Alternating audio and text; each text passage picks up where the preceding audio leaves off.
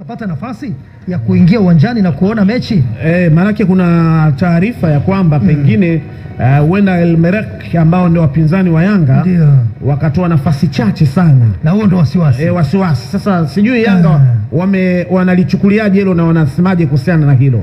Muhimu sana hapa tuweze kumsikia Alikamwe mwenyewe akizungumza. Leo ni siku ya mwisho kabisa kama ambavyo tuliwatangazia wanachama na mashabiki wetu. Ni siku ya mwisho ya kupokea majina, kupokea fedha za Watanzania, mashabiki, wanachama na wapenzi wa Yanga Africans ambao wanatamani kusafiri kuelekea Kigali kutazama mchezo huu wa kwanza dhidi ya El Merreikh. Ni siku ya mwisho kwa uh, usafiri wa njia ya basi, lakini pia ni siku ya mwisho kwa usafiri wa njia ya ndege kwa zile nafasi chache ambazo tumezitoa kwa wanachama kusafiri na timu. Kwa hiyo nitumie fursa hii pia kuwaomba wanachama na mashabiki ambao bado walikuwa wana wana wanasuasua kulipia safari walipe safari, kwa sababu nafasi pia zimebakia chache sana. Tuhakikishe siku ya kesho tunawasiliana na ubalozi Tanzania kule nchini Rwanda, tunaweka mambo sawa na tunajiandaa kwa safari. Mpaka sasa hivi ni mabasi mangapi yamejaa? Kwa hesabu ya Tanzania nzima, hapa namaanisha Dar es Salaam, Morogoro, Dodoma, Mwanza, Kahama, Bukoba, Geita na Shinyanga. Uh, jumla ya mabasi ambayo yameshajaa mpaka sasa hivi ni thelathini na saba. Thelathini na saba ni taarifa rasmi kabisa ambayo tumewasiliana na viongozi hao na wametupa hayo majina, lakini wako watu ambao wamesema watavuka siku ya Jumamosi, wale ambao wako boda kabisa watavuka siku ya mchezo kuja. Hiyo tunaamini tutakuwa na mashabiki wengi sana kwenye uwanja wa Kigali pale pale, na tutakuwa na mzuka wa kutosha kuhakikisha tunasapoti timu yetu iweze kufanya vizuri. Na vipi kuhusiana na Aziz Ki? Kuna taarifa zozote za kurejea kwake kwa sababu yuko kwenye majukumu ya timu ya taifa? Yes, Stefano Aziz Ki alikuwa na mechi ya AFCON qualifier pale Morocco, na baada ya mechi kumalizika akatokea tetemeko la ardhi, lakini kwa bahati nzuri yeye na wenzake wa timu ya taifa ya Burkina Faso wakawa salama, hivyo wakahama kutoka Marrakech wakaenda Paris, Ufaransa, ambako watakuwa na mchezo wa kirafiki pale dhidi ya timu ya taifa ya Morocco, na baada ya hapo Stefano Aziz Ki atasafiri moja kwa moja kutoka Paris kuja Kigali, Rwanda kwa ajili ya kuungana na timu kwa ajili ya maandalizi ya mwisho kuelekea mchezo wetu wa siku ya Jumamosi. Neno moja kwa wanayanga kuelekea katika mchezo dhidi ya El Merreikh pale eh, Rwanda. Kuna baadhi ya mashabiki wanaona kama El Merreikh kama ni timu nyepesi ambayo wanaweza kuibuka na ushindi, kwa hiyo wana matokeo yao mfukoni. Ungependa kuambia nini? Ni mchezo mgumu, wote tunafahamu, tuna muda mrefu hatujacheza hatua ya makundi ya ligi ya mabingwa, lakini tunafahamu pia safari hii tuna timu nzuri zaidi, tuna benchi la ufundi nzuri zaidi na dua zetu, umoja wetu, upendo tutasaidia kuvuka hapa kwa pamoja. El Merreikh sio timu mbaya, ni timu kubwa yenye historia kubwa, hivyo tuache kazi ya benchi ya ufundi itafanywa na Master Gamondi. Tusitoe presha yote kwa wachezaji wetu, tembeni Kigali tukiwa na nguvu kubwa, kazi yetu ibakie kushangilia. Sawa, uh, ni Ali Kamwe afisa habari wa klabu ya Yanga akizungumza na akiweka wazi mipango ilivyo. Uh, magari magari thelathini na saba. Na saba Mpaka sasa. Saba watu ni wengi, watu ni wengi, Bane. lakini sasa eh, thelathini na saba. Kwanza, kwanza kabla ya Eh. kabla ya hiyo taarifa ndio. uh, kuna taarifa ambayo unaiona hapa. Mm, kutoka Rwanda. Mm, kwamba Merek mm. Wamekataa mechi yao kuonyeshwa. kuonyeshwa hata hii tuliosikia kwamba wataingiza wata, idadi ya watu wachache sana mm. lakini pia sasa na mechi kuonyeshwa Yes. hawataki iwe mubashara Yes. Eh. kwa wanataka sisi Watanzania wote twende. Sasa unaendaje wakati idadi ya wadeni yaani ule anataka kuchinjwa unachinjwa kweli? Ah, ah, mtu mtu anapanga kuzungumza. Sasa sasa kuna hebu hebu tumsikie Mtu anafanya eh, kuna mtu anaweza akazulumiwa subiri tumsikie afisa habari wa chama cha soka pale shirikisho la soka shirikisho FELWAFA. naam Rwanda Rwanda tuna tuna amezungumza na mwenzetu Lugano Israel kutaka kujua haya yote, mipango ikoje na mashabiki wataingiaje. Wao ndo wanasimamia huo mchezo, shirikisho la soka pale Rwanda. Tumsikie, anaitwa Jules Ka, Karangwa eh, kutoka Kigali, Rwanda.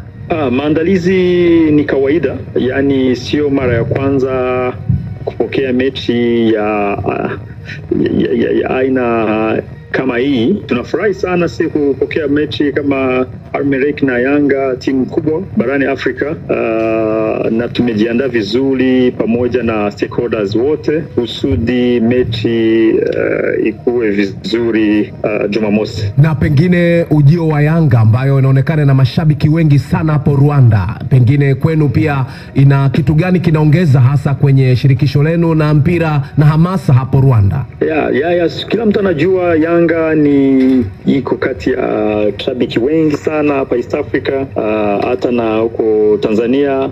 Najua uh, mashabiki wengi wata travel kutoka Dar es Salaam kufika hapa Kigali, so tumejiandaa vizuri uh, kusudi wote tuwapokee uh, hapa Rwanda na kwenye kwenye mechi na na pale itakapochezewa Kigali Pele Stadium. Na upande wa mashabiki wa Yanga wanakuja kwa wingi sana hapo Kigali, na pengine sasa mmejiandaa jinsi ya kuweza eh, kuwawezesha wakashuhudia mchezo mzima ambao utapigwa katika dimba la Pele hapo Kigali. Ah, watawezeshwa watawezeshwa iwezekanavyo na tunajiandaa uh, tukishirikiana na timu ya Almerek, yani hiyo ni wen- ndo wenyeji wa mechi ndo home team na wataweze, watawezeshwa kwa, kwa ukweli watawezeshwa uh, kwa kila kitu uh, ili uh, washabiki mashabiki wenye wanatoka huko Tanzania na wenye wako hapa Kigali waweze kuangalia mechi ya Yanga na Almeric. Kuna hofu kubwa ambayo imeibuka sasa hivi kwamba huenda uh, Amerika kwa sababu wao ndio wenyeji wa mchezo huo.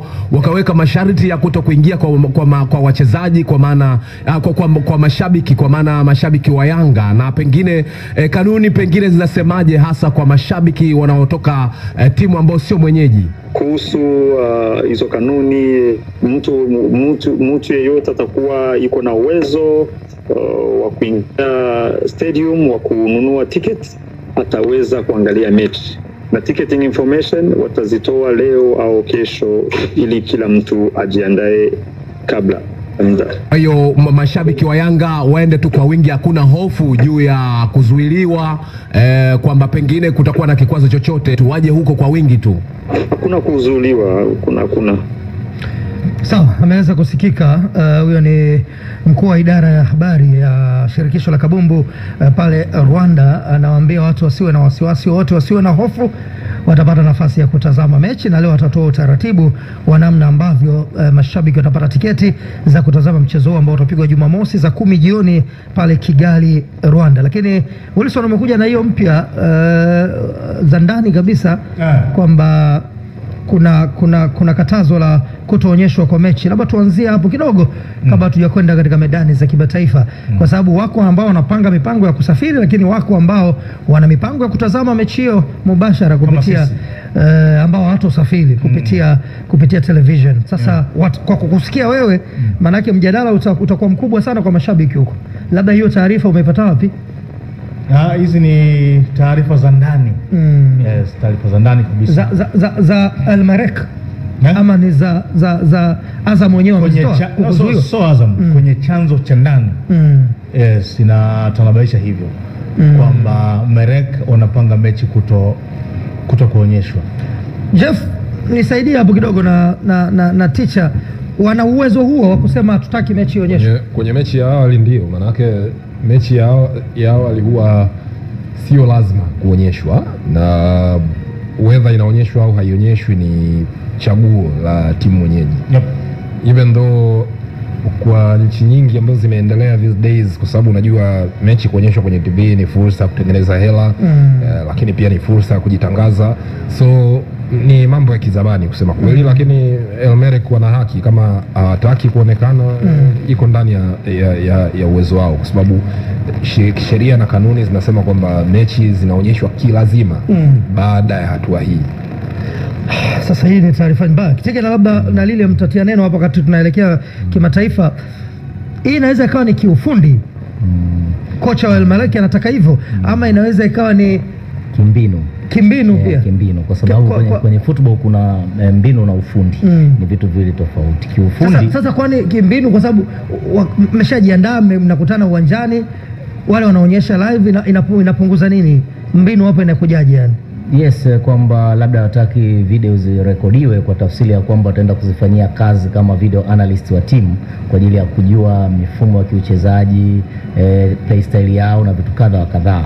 Ndio maana si Yanga watakuwa pale, si Yes. makocha Yanga watakuwa pale Yes. hata kama haitakuwa live, si wanaona yani, hata kama Yanga watapoteza ule mchezo Mm. maanake si wataona hao na mapungufu hayo na mapungufu hayo, watakuja kuyafanyia Eh, kazi. sawa. Kwa hiyo live ina, inazuia nini yani hapo kwenye mbinu, ndio sijakuelewa Tigan. ndio maana nakwambieje, Mm. kuiangalia game kama matukio yanayopita ni tofauti na kuirudia kwenye eh, kwenye TV Mm. si ndivyo, au kwenye YouTube ni kwenda kwenda kwenye details ndogo ndogo. Yes, na hasa unapoenda kwenye kitu naita video analyst, yani mtafiti wa, wa mtathmini wa mchezo kwa upande wa pili, kwa kile anachokiona hawezi kukiweka kichwani dakika ya kwanza mpaka ya tisini, matukio yote yakakaa kichwani. Yeah. Ni lazima urudie mara kwa mara kwa engo ambazo unazihitaji, ndio maana wamefikia hatua hii. Labda lili anayewezekana ikawa ni kuwakomoa sasa, kusema "Ah, hawa si wana moto, mashabiki sijui nini, haya nyinyi mtakuja mtapambana, sababu inawezekana wakaja na mengine pia ambayo hatuyajui, labda idadi ya mashabiki wachache na vitu kama hivyo, kwa sababu wameshaanza hizo hizo fitina zao. Inawezekana pia ni katika hali ya kuwakomoa tu Yanga kwamba kwa sababu manake kama kituo cha television kinataka kulipa pesa kuwalipa El Merrek ili wapate waonyeshe hiyo mechi, lakini El Merrek wanajeuri ya kusema hatutaki. Kwanza ni uoga, hiyo ni nidhamu ya uoga, kwa sababu ukitazama ah, hii ni mechi ambayo naamini kabisa wao pia walikuwa wananufaika nayo kuweza kutazama. Inawezekana ikawa mechi ambayo itatazama na washabiki wengi kulingana na performance ambayo Young Africans walikuwa nao msimu umalizika katika michuano ya kimataifa, wamemaliza katika hatua ya fainali wakiweza kupoteza katika michuano ya shirikisho fainali. Kwa hiyo kwangu naona Almelek wamekuwa woga kuto kuwapa nafasi kuitazama mechi kama hii. Taarifa ni za kweli, na cha pili naungana anachokisema coach kwamba wakati mwingine inaweza kuwa ni mbinu and tactics. Uh, kocha anaona kabisa kwamba mara nyingi tunashuhudia hata hapa katika ligi yetu ya ndani, mechi ikiisha, kocha anaomba video ya mechi kwa Mm, sababu ndio. mnapotazama video ya mechi ni rahisi nyinyi kama timu kuweza kujipambanua na kujua ni wapi mlikosea ili kuweza kurekebisha kuelekea katika mechi ijayo. Wataalamu wanaita match reading, ambao unaenda kuisoma mechi na kujua ni wapi tuongeze nini, ni wapi strength point ya mpinzani, ni wapi ubora wa mpinzani, ni kitu gani tukifanye ili tuweze kumdudumiza mpinzani, kwa sababu kinachotakiwa hapa ni ushindi. Kwa hiyo match reading imekuwa moja ya sifa kubwa sana, ndio maana kwa hivi karibuni tumeona kabisa vilabu vyetu vikichukua match analyst, kwa sababu anaona kabisa kuna watu ni taaluma zao kuangalia vile vitu ambavyo kwa macho ya nyama ni vidogo, yaani unaweza ukaita match analyst kama telescope, yaani wanaangalia vile vitu vidogo na kuvijua kabisa kwamba hapa ni kitu gani tukiongeze kuelekea katika mechi ijao. Mi naona kama ni nidhamu ya uoga and ni jambo ambalo linashtusha kwa sababu mpira wa Afrika sasa hivi kama vile umepiga hatua. Swala la kuonyesha, wangeacha tu mechi ionyeshe, kwa sababu cha kwanza wanapa nafasi mashabiki kuweza kutazama kinachoendelea, na cha pili wao wenyewe wanapata fedha. Tukumbuke kwamba Almalek na muda mrefu hajacheza mechi yote hajaingiza chochote kiwango cha fedha.